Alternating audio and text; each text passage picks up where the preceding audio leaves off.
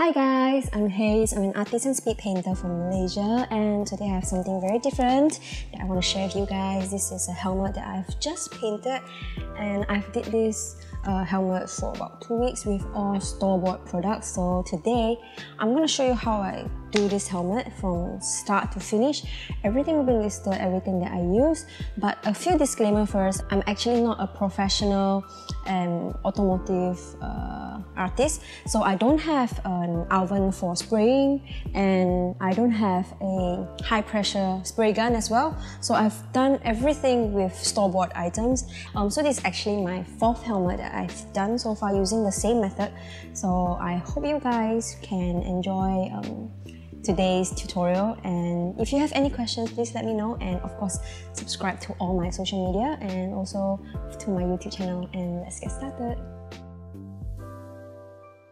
So the first thing that I did was using um, Procreate on iPad and you can actually see the tutorials for all the portraits that I've done. So these are actually two portraits that I've done for this helmet. Uh, one is a Taiwanese uh, girl and then the other one is a Malaysian girl. So the reason why uh, there's two portraits because there's the left side and the right side and then there's actually some sort of a concept um, behind this illustration so I'll get into that later. So actually I use Procreate on iPad for the design of the helmet as well. But as you can see, this helmet is round and it's really difficult to unfold into a template. So I've done the design as best as I can, but the design elements have to be repositioned again on the helmet. So this is just like a rough draft. And also I can't really do all the pinstripings here that you see um, accurately on Procreate because I can't feel the contour of the helmet when I'm using the iPad. So it's easier if you just use do it on the helmet where you can feel the contour and get the lines to be flowing exactly where you want them to flow. Design using a tracing paper, which then I can transfer the design to Procreate. Let's talk a bit about the theme of the uh, helmet. So as you can see, there's two sides here. One side is a Taiwanese girl with a Taiwanese um, fighter jet and this is actually representing he, the my client's wife. So he wanted one side of the helmet to represent his wife uh, which is a Taiwanese and he's actually from Malaysia where I'm from. So here we have a Malaysian girl and the fighter jet from Malaysia as well. So I link both visuals together using smoke from the planes and also we have some pinstriping going on and then here we have my client's name in Chinese calligraphy. So the next thing we want to do is to measure out the logos for the stencil. So the stencil for the logo is very very important so it's important that we get an accurate measurement. Here I'm using a plastic ruler but if you can't get a measuring tape, I have one, I'm just too lazy to get it out of my cabinet. And also you have, I'm going to measure this logo as well before we proceed to designing them in Illustrator. So now I'm using Illustrator uh, on my Mac. Using Illustrator, I actually reposition and resize the logo. So once I've resized the logo, it's uh, easier if I just export it to a DXF format, which is compatible for importing to my Silhouette Cameo designer software, which actually bridges the Silhouette Cameo cutter. This is actually a cutter that uh, cuts stencils and cut paper. It can cut anything up to 1 mm thick if I'm not mistaken and even thicker if you get another specific blade. So once in Silhouette Cameo, I need to clean up the lines before I cut them and once I'm ready to cut, I, I position them and I send it to cut. Right now you can see the Silhouette Cameo is actually cutting up my uh, stencils and I cut a couple of stencils. Uh, one is on a white vinyl and then a couple on a transparent vinyl because it's easier if I use transparent once I've done a layer or two so that I can match the position accurately. So if you have transparent sticker, you should use them as well. But you definitely need opaque sticker because it's much easier for you to see and to apply for the first few times. I remember there's never enough stencils, so if you can cut more, I use about 7 to 8 stencils on my entire journey with this helmet, so if you can cut as many as you can. Next, we're gonna go into Photoshop, and in Photoshop, I'm just gonna lay out the design elements for all the subject matter onto a A3 size paper. So this is to be uh, positioned onto the helmet for testing and I want them in the exact size that I want them to be on the helmet. So I, again, I measure on the helmet first to get the size of the visual that I want and then I transfer the sizing to Photoshop for each element and then we will print them out using my friendly printer. So now we're gonna start preparing for the spraying and for the first thing that we should do is to prepare our working area. So the first thing I want to do is to prepare my chair where my uh, helmet will rest on. So first I cover my chair with plastic and then after that I put my uh, turntable on. This is just a turntable that I bought from IKEA. Uh, and I also taped it with plastic so that no spray or paint can get on it because I really really want this to last for a long time and then after that I have this old cat scratching post that I have for a long time already I put it onto the uh, turntable and I also cover it up with plastic so that it doesn't scratch or scratch my helmet and then also paint and spray doesn't get on it because I need to let my cat use this pose once more after I'm done with this project. So once we are done with that, we can place our helmet onto the cat scratching pose, but let's just call it the helmet stand for now. So once our, my helmet is on, there is one very important rule that we must remember when we are customizing helmet is that we can never drop the helmet at any time. Even if it did not break, because once we drop a helmet on a hard surface, the helmet is considered not safe anymore to use for riding or racing. So we can never ever drop our helmet. We have to be really, really careful with that, guys. So now what I want to do is with the printouts that I printed um, just now, I'm gonna position them on top of my helmet to test their sizing and their positioning.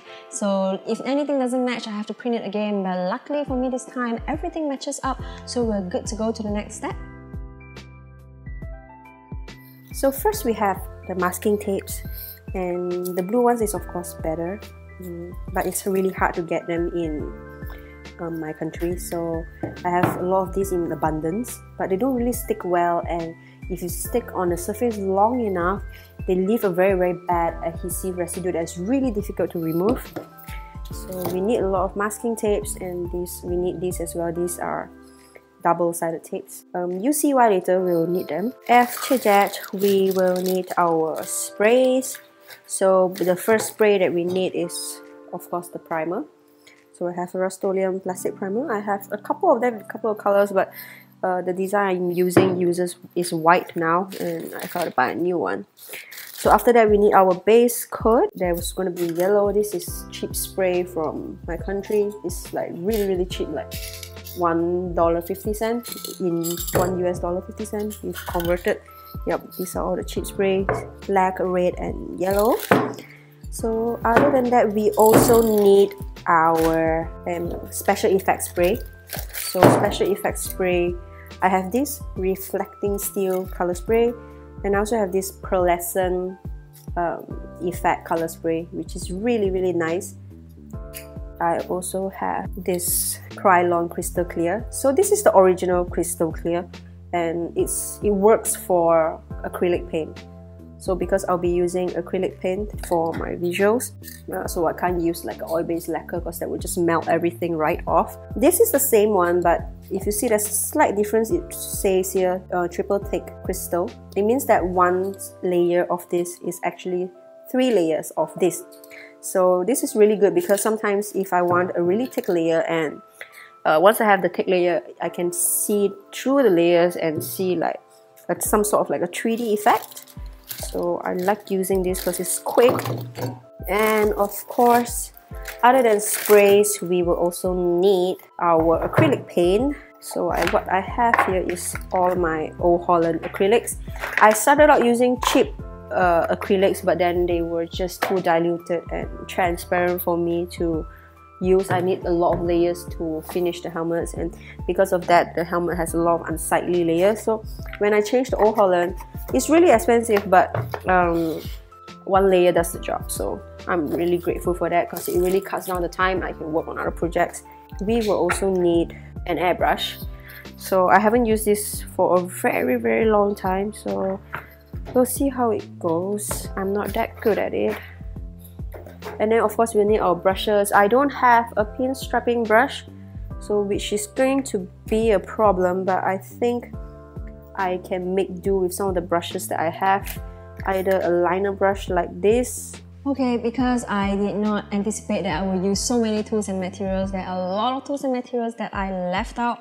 So uh, anything that I left out, I will be listing them down in the side for every stage uh, of my process. And if you need have any questions, you can always comment in the comment section below. So let's go over the basic steps of how to customize a helmet. So the first step will always be masking. So we use masking to cover places that we don't want paint to get onto. And then after that, we will be um, sanding the helmet first because once we sand them, then the paint can stick to the helmet easier. And after that, we will be uh, either spraying or painting the helmet. So once we are done with each pass, each layer, we need to spray a clear spray. So this clear spray would actually seal whatever that we've painted and then if we put any masking on top, it won't peel out and then it also gives a very clean unmasking later on so which of course leads to the next step after the spray uh, the clear spraying we would be unmasking the masking off and then the whole and then the whole uh, process repeats again and again. So these are all the basic steps that we need to do for each layer, but sometimes I don't sand in between. Sanding is mostly for the first stage itself, but I sand when there are defects and if the surface is not as smooth as I want them to be after the clear spraying stage. So that's the basic steps and now let's move on to customize our helmet. So the first step will be our first initial masking. So all these moving parts have to be masked and also this uh, all the metal parts here has to be masked as well and of course the rubber parts needs to be masked as well. Um, you should be very careful about rubber parts because some of the rubber parts are not that receptive towards adhesive tape. So like um, this one, the rubber part for this part here does not actually stick to anything. So tape can usually fall off. So which leads to my next point which is once you mask your helmet you need to be sure to finish your helmet as fast as possible within one week or two. Because if you don't the adhesive will start to melt if you're if you live in a hot country like mine, the adhesive of the masking tape would melt and then when you peel off the masking tape, there'll be a lot of sticky residue left and it's a pain in the ass to clean them out. So make sure you finish your helmet and you make sure you clear a schedule for your helmet painting and customizing once you begin the first masking. So some of the areas for the helmet uh, which are the small metal fittings. I'm not using the masking tape to mask them. I'm actually using a double-sided tape to mask them because masking tape does not stick to these areas well. They peel off really, really easily. So I find that double-sided tape because once you remove the backing, they are easily pushed into areas and I can use that to effectively mold uh, onto areas that are difficult to be masked with normal masking tape like these areas and these areas as well, the small ridges here and everything, I can just use the double-sided tape to push it in with the pen knife, which is great for that. Also make sure that your masking is very precise and make sure it's pressed down because once you press it down, um, it doesn't bleed that much. So if it, you don't press it down and there's air pockets beneath your masking, it will start bleeding when you spray on them and when you paint on them especially. So make sure you press down your masking before you paint or you spray. Some of the useful tools here that you want to use is blade, scissors, and also a pressing tool and also a stick where you can push masking tape onto areas that you can't get to uh, with your fingers. So that would be great. And then once we've masked our painting, it's time to sand our helmet. You can use a sanding block here, which I've also forgotten to list in the um, material section. So I love to use a sponge because it's softer and it's more even. So it's great to use a sponge, but you can wet them or dry sand your helmet. But if you're dry sanding your helmet, you have to be careful not to overdo it. So you just want to scuff the surface of the helmet so that it becomes non-glossy and it becomes matte. So this will make sure that the paint that you spray on will stick to the helmet.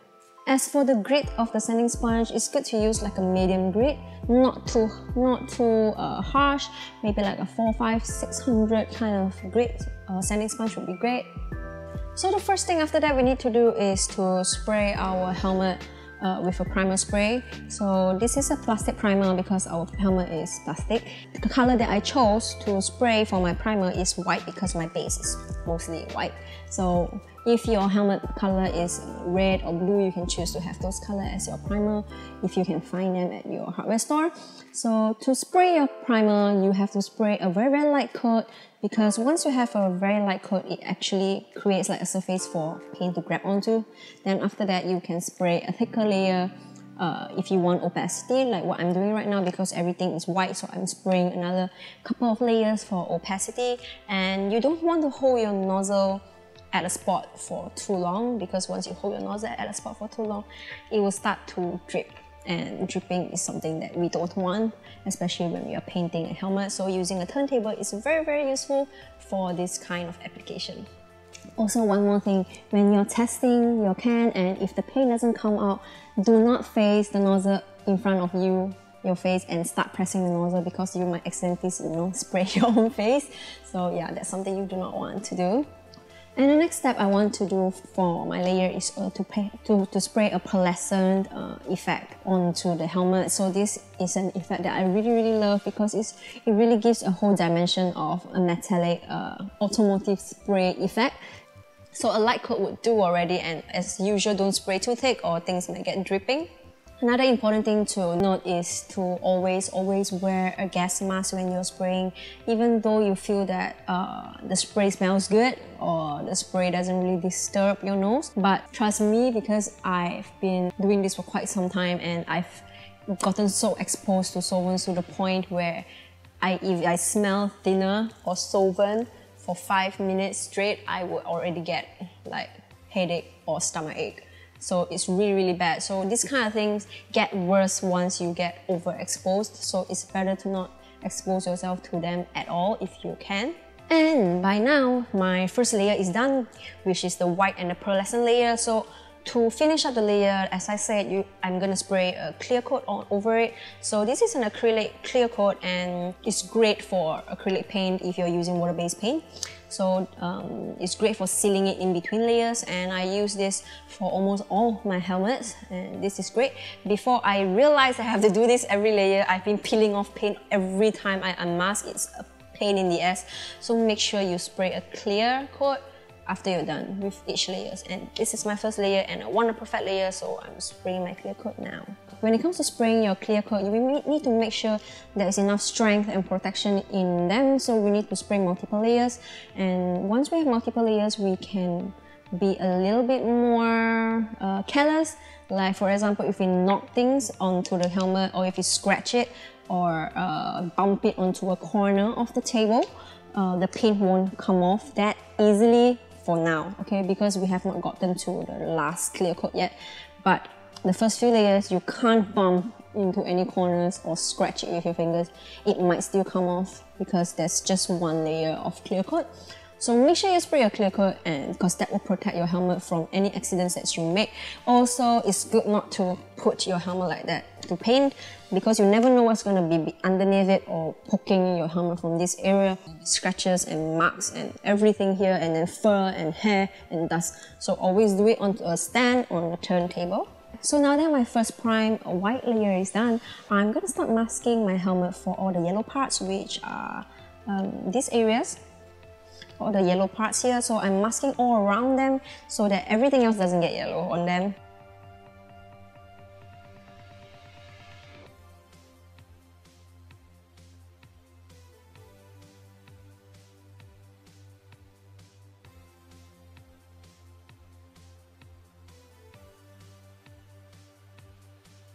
So this is a difficult uh, part to mask but I think masking it has really, really improved the aesthetic of this uh, helmet.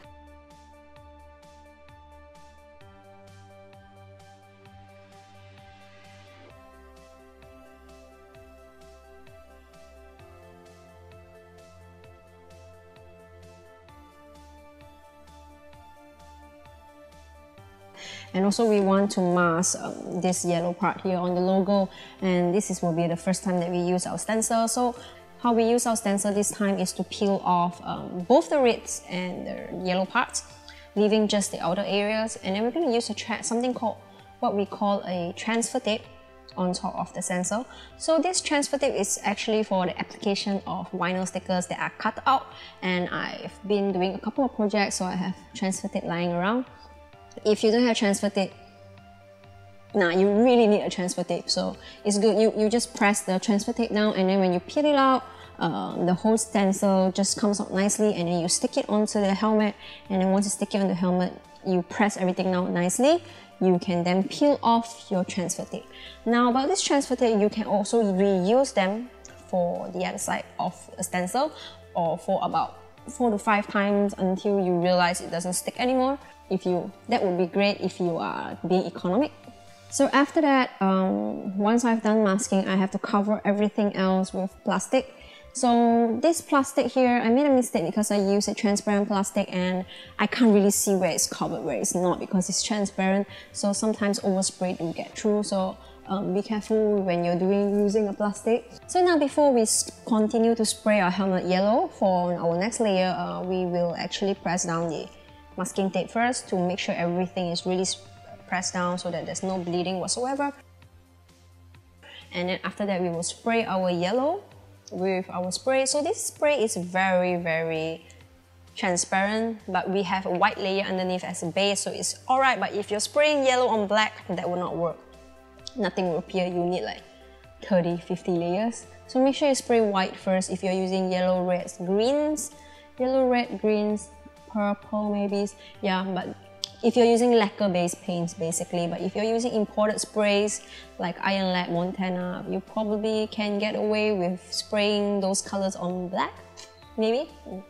So now um, we're gonna spray our clear because we are done with our yellow layer and I want to commit them. I want to commit the changes for this layer I'm spraying clear to protect them because um, right after this we're gonna mask the reds out so I'm not gonna unmask anything at this point because I can just cut open this area to mask the reds here.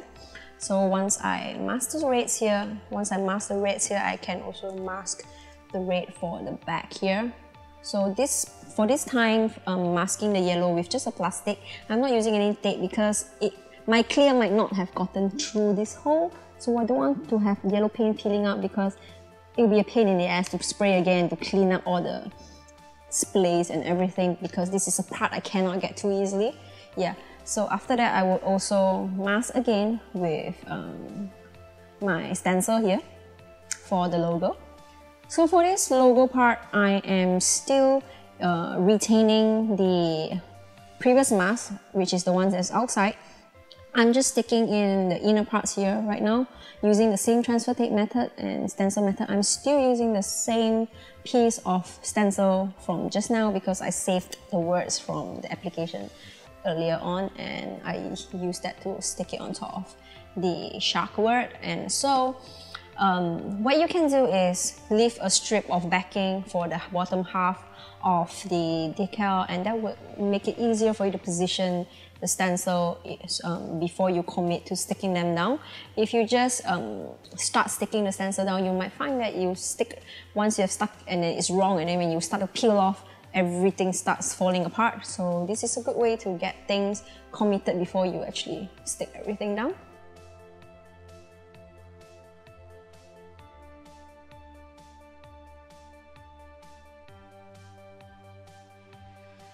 So now we are back to our spraying station and uh, we are going to spray red and make sure we are going to make sure that we spray it uh, until it's opaque because red is also transparent as well and I'm using a lacquer based paint so it's very important to spray until it's opaque.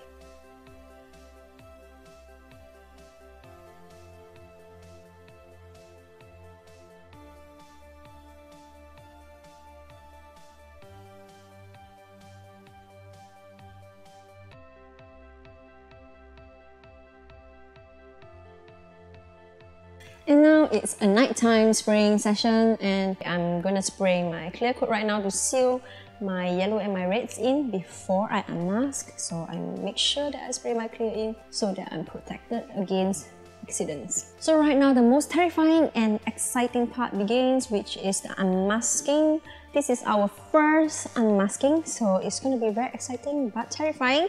So what we want to do is not panic if three things happen. So if paint peel out when you are unmasking, don't panic, it can still be saved. But if you are worried about that happening, if you notice the paint are starting to peel out together with the tape, uh, put it back on and use the knife to score it first before you continue peeling them out. And if you peel out and you realize that your paint has bled out, or there's oversprays beneath some plastic, don't panic because we can still remove them and I'll tell you how after this. At this point, you shouldn't be too worried because you just started on the helmet. It's still very forgiving, but it's nice to have a neat start to our helmet painting journey, isn't it? And now we're gonna be unmasking the logo. Like I said, sometimes you need to score between the uh, decal and the paint and that would make it easier for you to uh, peel off. But when you do that, if your knife starts to drag out paint, you should stop and just try to peel out the decal first. So if you're doing this for the first time, you should just wing it and try it because all these things comes with experience and I've had a lot of accidents happen before but my helmet always turned out great so it's no worries here.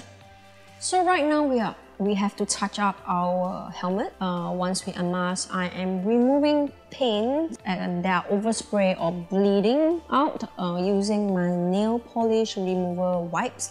So this is actually uh, a wipe that I use to clean my fingers after I do spraying or if I have any solvent on my fingers or I can clean them up uh, after I have a heavy graffiti session. So, and you can use it to remove any overspray on your helmet without worrying it will remove paint because we have a lot of clear layers, right? So these clear layers are protecting your paint from being removed by these wipes and it's really easy to remove overspray this way but if you didn't spray your clear spray too bad and now I'm using my angled brush and my tiny brushes to touch up the paint and get anything that I missed just now. Maybe I masked them wrongly I didn't mask certain areas and I am just cleaning them up. But uh, also you might want to think about what paint you want to use when you are touching up. Always try to use the original spray paint first. So what you can do is uh, you can hold a palette like this. If you have a palette you know with those holes and then you just spray really close onto the palette a little bit of spray. You can then get the uh, paint out with your brush and touch up with that first. But as I told you my yellow and my reds were really really transparent. So some of them I use acrylic paint to touch up and Luckily for me, they were the exact same color and tone, so I was really, really lucky with that. But always, always try to um, use the spray first by spraying it onto the palette and using brush to touch up first. So right now, um, I did a little bit of a whoopsie uh, at the back of my helmet here, which you can't see anymore because I have repaired it so nicely. So the first thing I want to do is uh, I'm gonna use my Fixit Aves Fixit Sculpt Sculpted epoxy clay to uh, repair my helmet here.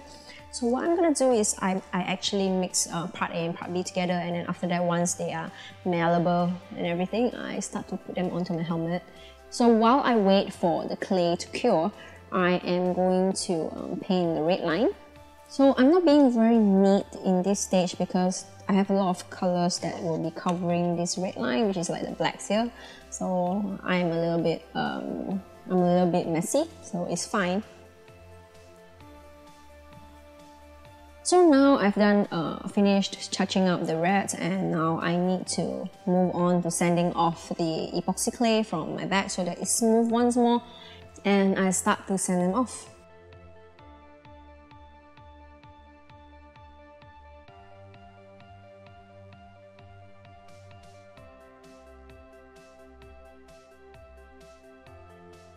So now what have we done so far after we unmask? After we unmask, we touched up, we did the epoxy clay uh, repair and I'm going to spray a clear coat so that everything gets protected under a clear layer again and also because both the yellow and red were done in different passes so the, the spaces in between are still fragile and can be peeled off so I'm just going to spray this with the clear coat as well so that everything has a protective layer over it before we continue. So now I'm going to um, sketch all my pinstripes and finish off the design for the pinstripes uh, for the helmet.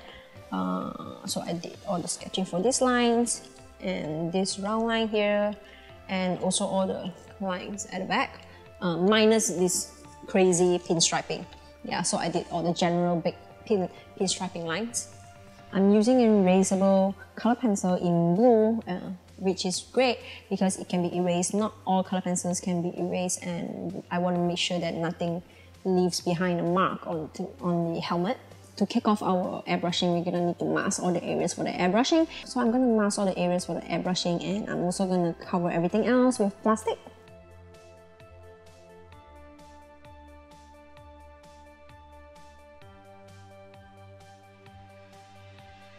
I'm also going to use a round sticker for um, this masking here so that I can get a perfect circle.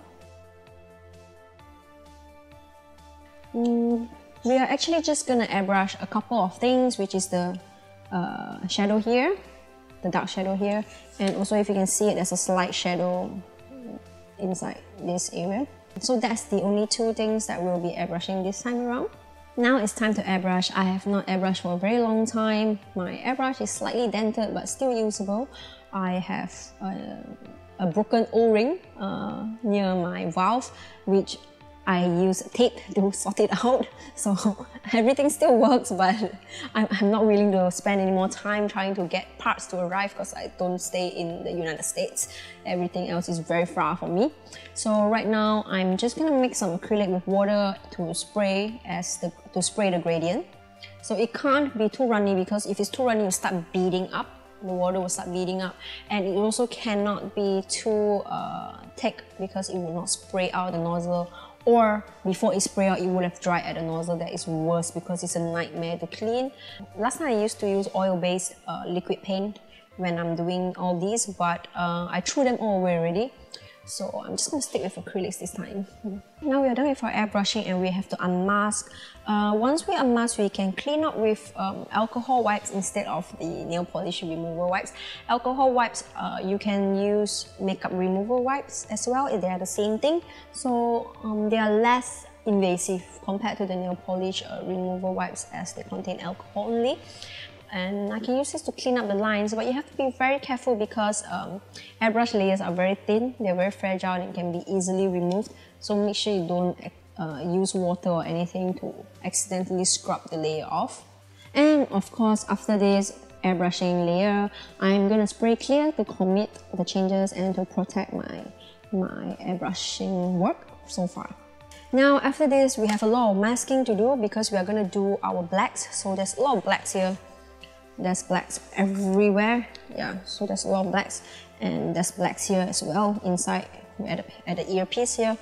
So we're also going to do the masking for the logo here and this area as well.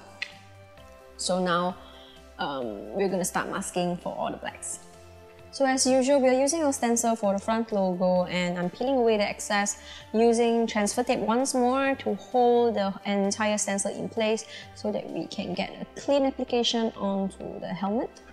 And right now, for our logo at the bottom area, we are going to use a transparent stencil decal because we need to see exactly where we are applying the decal right now. I'm not going to use a white one um, because I'm afraid I won't be able to get an accurate um, application. So I'm going to use a transparent one and I'm so happy I have transparent stickers right now, seriously.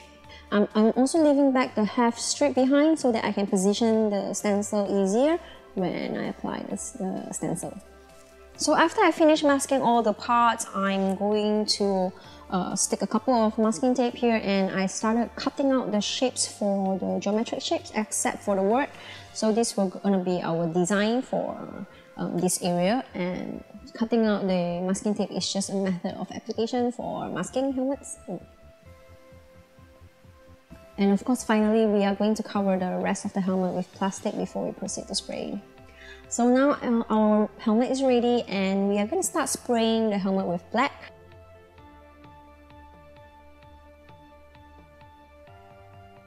And once I'm done spraying with the black, I move on to my special effects spray. I have this reflecting steel spray, which is marvelous, it's amazing, it's oh my god, it's it's incredible, it's a whole new world, okay. So I use that dazzling, nice spray and it is so opaque, it's so good. So one layer is already so amazing. And as you can see, when I'm spraying this, it's like Christmas. Every Everything is glittering everywhere. So it's great, I love this. And of course, once I'm done with the reflecting steel spray, I spray clear once more to commit everything uh, to a protective layer. So right now we are once again going to unmask our uh, decal.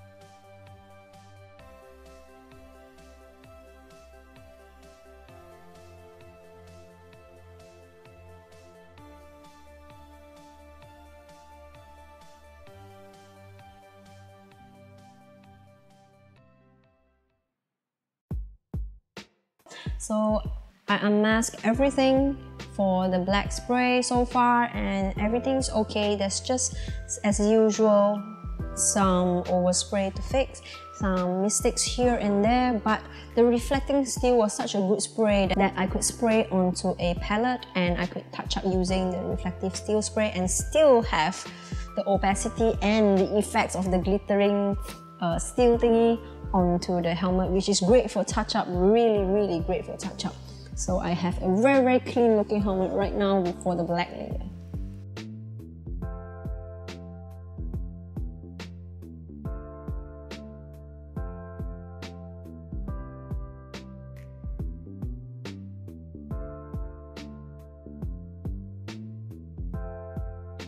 So once I'm done cleaning up everything, the overspray with nail polish removal wipes and touching up all the blacks and everything else, the reds, the yellows, everything so far, I am ready for my last base paint coat application, which is the blue layer. So right now, before I do that, I'm just gonna spray everything with a clear coat to commit my yellow, red, and my black uh, application so far. So now we're back and um, we're gonna get ready for our blue application by masking the areas out first.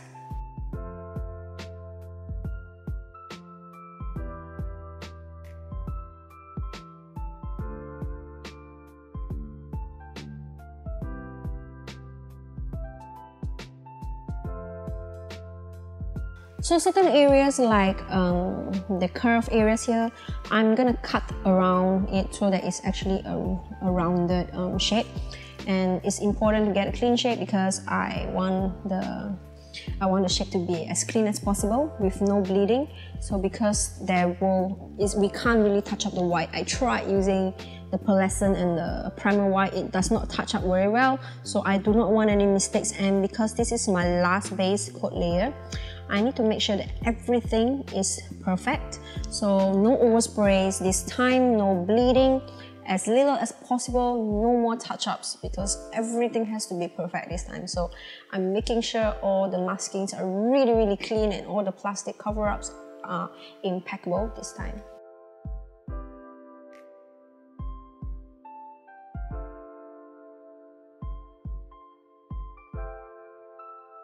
So it's a good sunny day now and I'm gonna spray my helmet with the teal, with the blue color.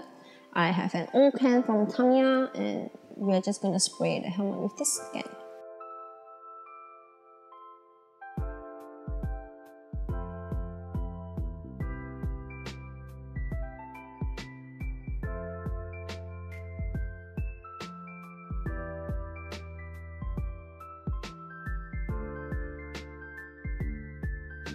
And now we're gonna spray clear so that everything can unmask cleanly, hopefully.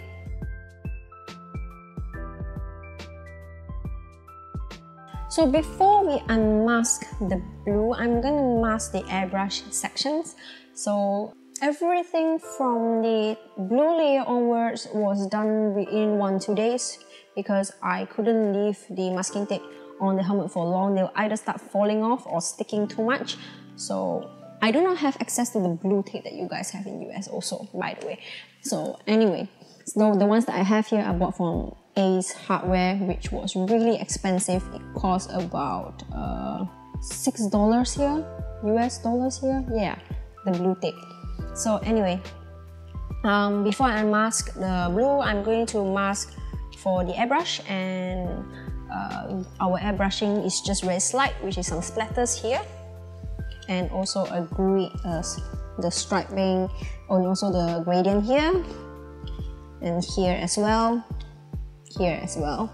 So it's just four uh, yeah five areas here. Very slight very slight effect actually yeah. So just gonna mask for these areas for the airbrushing. And once we have airbrush we are finally ready to unmask the helmet. Uh, oh i'm so lucky that this time when i unmasked everything was very very clean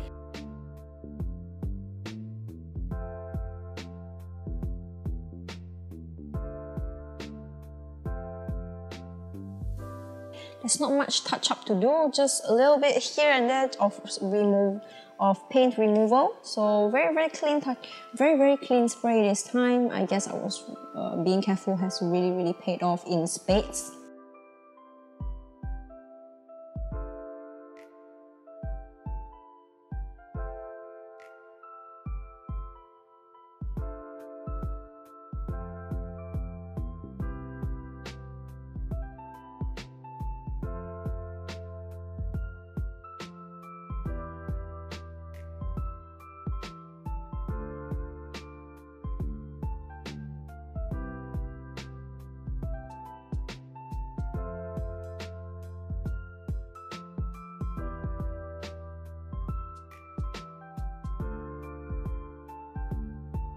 So I just clean up some edges and I touch up uh, everything once more, the yellow, the reds, the blues, the black, everything that I need to touch up, I touch up once more before I finally, finally, finally seal everything with a clear coat. So this time the clear coat is going to be really, really thick uh, because I want a lot more layers because after this I'm going to start painting the helmet which is going to be very exciting.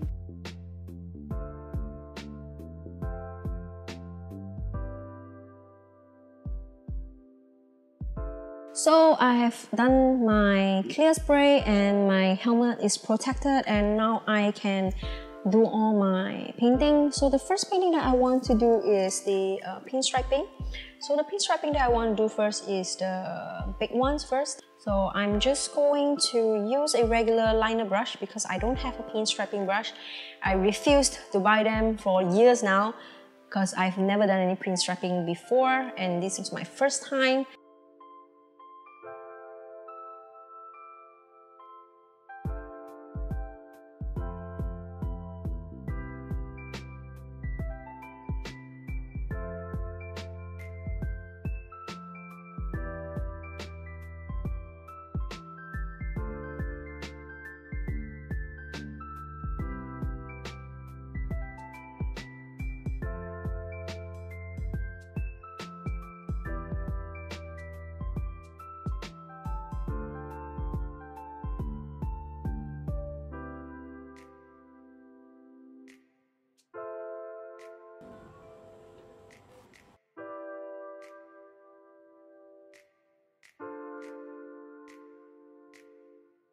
So for all the complicated uh, pinstriping designs like this, like this here, so we are going to use um, chalk transfer paper to transfer our design.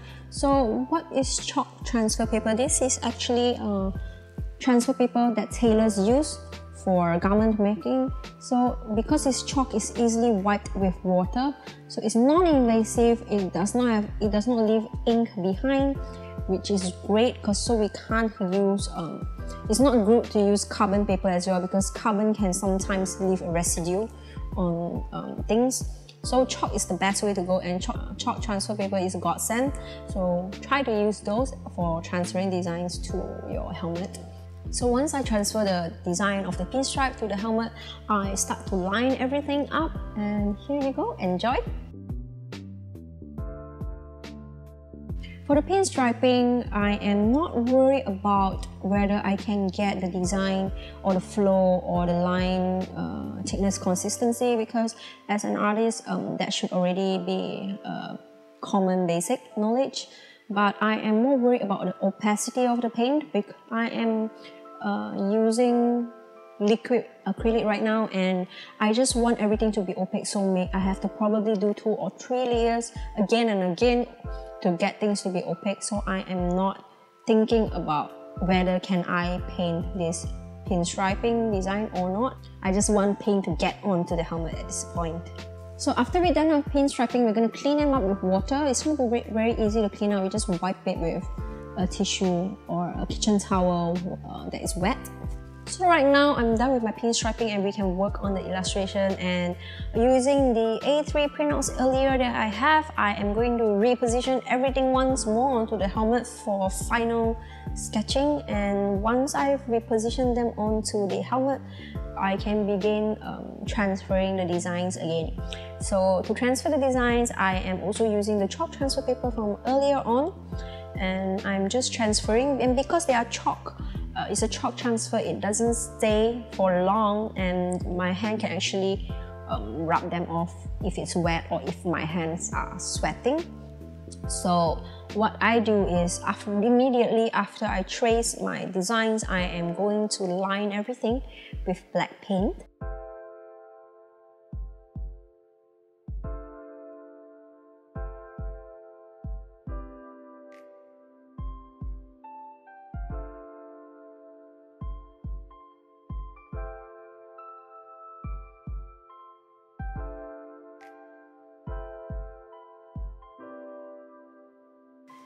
Everything is transferred and lined. I am so happy and we are finally going to be able to move on with our painting. And right now we're going to paint this word. So to paint this uh, Chinese calligraphy, I'm using a Chinese brush and um, as usual, I'm not worried whether I can paint this or not. I just want it to get onto the helmet with full opacity. So the first layer, of course, is not opaque.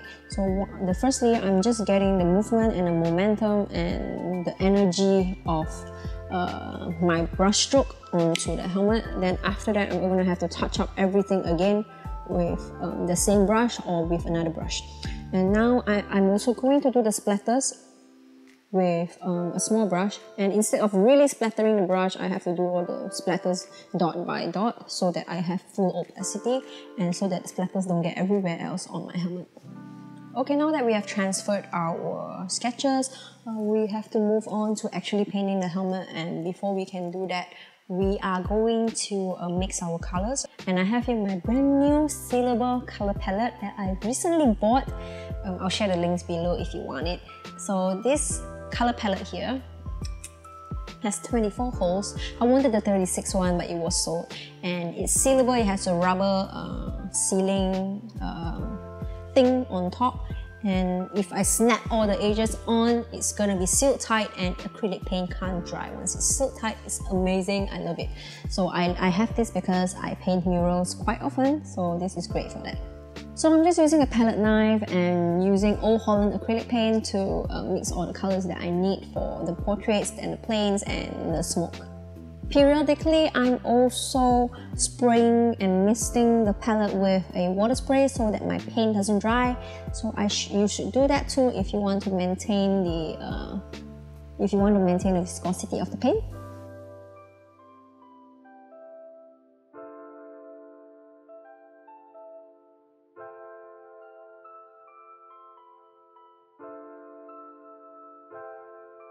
So the first thing that we're going to paint first is the smoke and as usual I am painting for opacity and not uh, creativity. There's no creativity here, I'm just photocopying. So I just want everything to be opaque. So two, three layers again and again and again. So lining again and again and again. Uh, and as I paint, if there are gradients, I need to make sure that I repeat the same gradients each time and if there's brush marks I need to make sure that uh, my brush marks are in the same direction and the same strokes every time so that things don't get too messy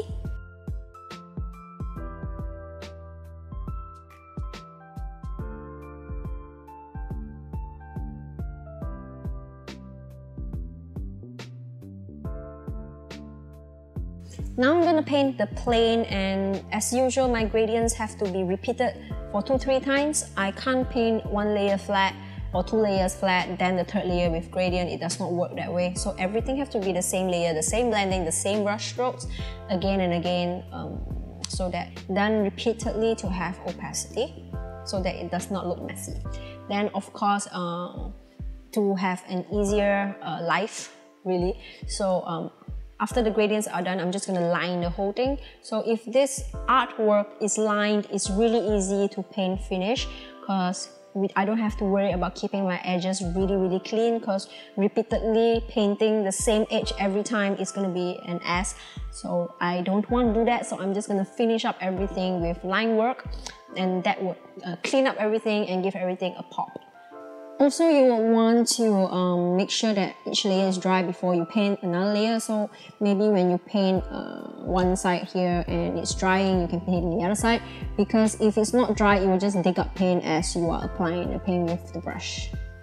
So I do the exact same thing for the portraits. I'm just repeating the um, colors and blending for opacity. So if you are um, inexperienced in painting certain subject matters, uh, like maybe portraits or buildings, you shouldn't include them into the helmet because it's not something, it's not a surface that you can experiment or figure things out on. Because um, if you figure things out too much on a helmet, your layers get really thick and you can feel your brush strokes when you run your hand through it. And then later on, your subsequent layers of clear coat, you have to do a lot of sanding to get the bad brush marks um, texture out so it's not a good place or time to um, to do some experimenting or to figure out how to paint certain things that you have never painted before. But so it's a good idea to just paint something that uh, you have experienced painting, like things that you are good at painting. And that would be something that you can do on a helmet because you are trying to reach opacity here instead of uh, figuring out an aesthetic or figuring out how to paint something nicer or something yeah, that kind of goals, you know. Mm.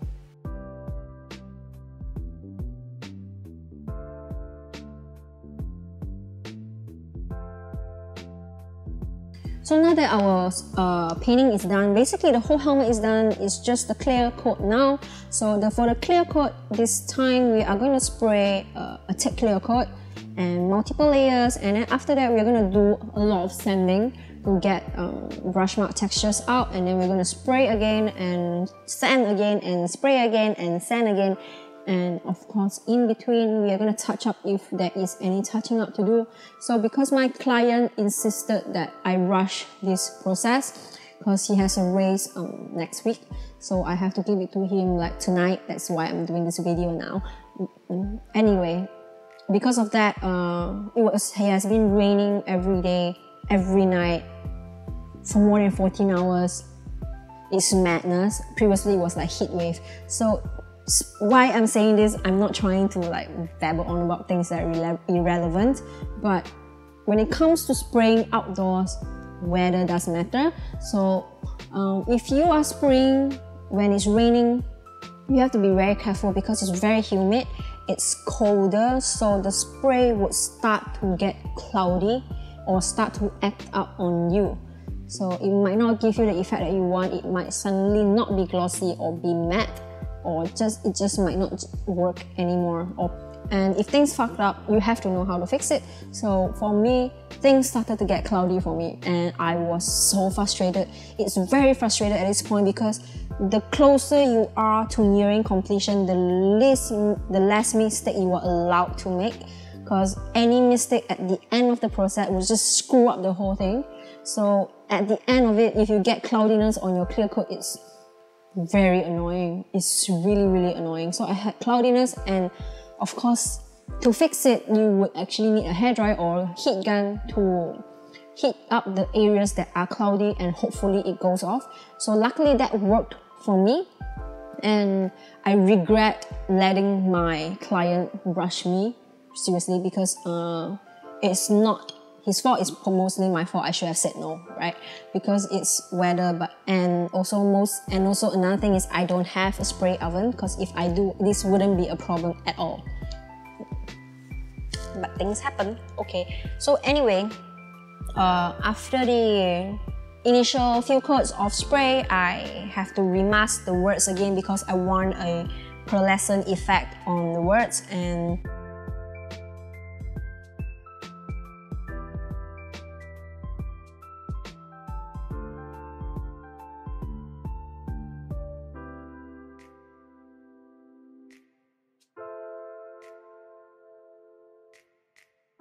I spray it again, uh, the pearlescent effect, and hopefully it went and luckily it was okay.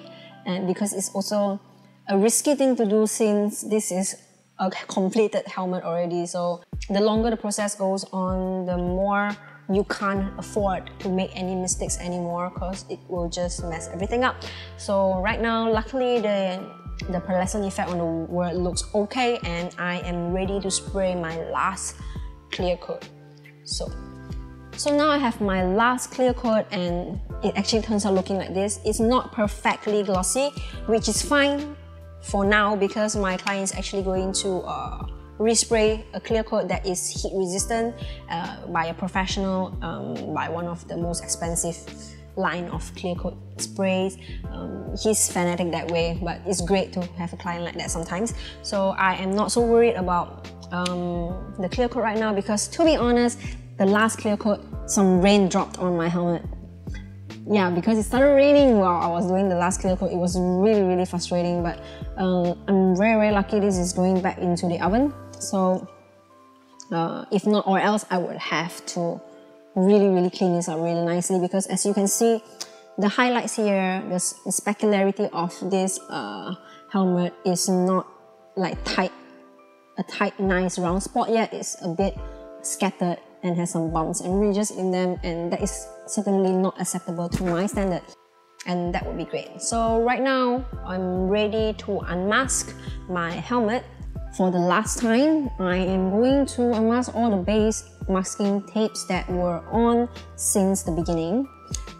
So because this is my last time uh, unmasking everything, I need to score everything with the blade uh, before I unmask because the paint that has been on it it's so thick already and if I peel it off it would just peel the entire paint off um, everything else so I have to do that and I'm scoring it with a knife. When I say score this time it means really cutting through paint and scoring the helmet um, carefully. Yeah you have to be careful when you're scoring things uh, especially on the helmet.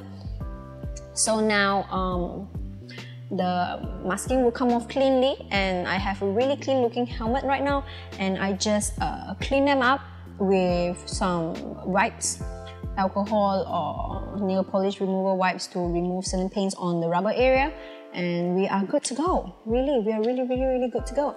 So right now um, the last thing that I want to do is just assemble back the helmet. So I am just putting back on the screws here for the visor and this screws here because this is a shark helmet it's a professional racing carbon fiber helmet. These screws here can snap. Like if you take a close look at the screw here right now it has a ridge in between and it can just snap off.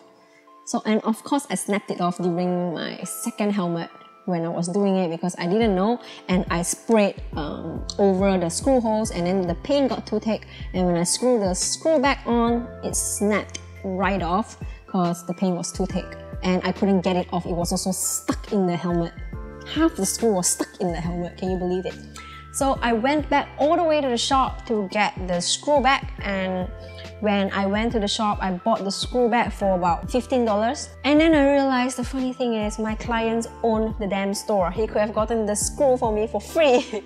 when I told him about it, it was so funny. So anyway, screws like this, you don't want to mess with the holes, so try not to spray the hole. That is why I taped the holes there with the circle uh, sticker so that I don't spray over the screws hole this time, so that I don't spray over the screw holes this time. And things turned out well. So after I screw this back on, I I don't know. I also assembled the straps back. I also locked in the visor so a little bit about the screws and why it was manufactured this way. It is not stupid, it's actually a, a security feature. It's a safety feature that is implemented by the manufacturer of this helmet because if you have a crash in one of these helmets, um, the screws actually allow you to easily rip your visor off your helmet in case you couldn't breathe. So that is actually a safety feature on why both the screws can be easily broken. So this is one of the reasons why and why you should buy this helmet. But really, um, I think this is a really great helmet, but I haven't painted any other helmets before, so I wouldn't know. And right now, I'm so happy to say that I'm done.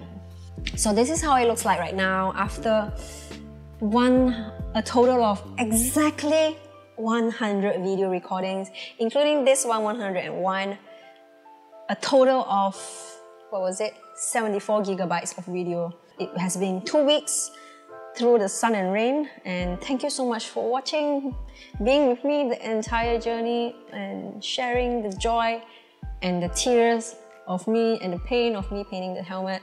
Some I hate doing helmets and I love doing helmets because I feel satisfied when I'm looking at this, but when I'm doing it, I hate every moment of it. I hate every moment of it. But when I look at this, I feel like I can do this again. I can do this again, and the cycle repeats and repeats. But anyway, thank you so much for watching, um, being with me on this entire journey. Thank you so much for watching. Uh, subscribe to my channel, and if you want to see more of my face, you can follow me on Instagram. Bye.